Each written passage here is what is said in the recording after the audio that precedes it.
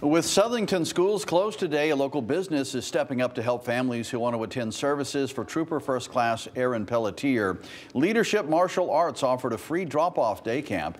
Instructors ran games and drills for the kids. The owner says it's his way of saying thank you to Trooper Pelletier, whose oldest son attends the martial arts school.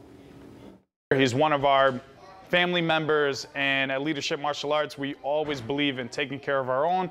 And since I opened up, it really has been a goal of mine to help the community out in every way and every turn that we can.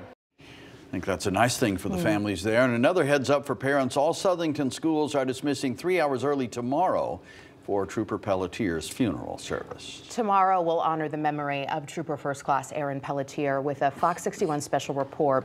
We'll be showing his funeral starting at 11 a.m. on air and on Fox 61 Plus and on fox61.com.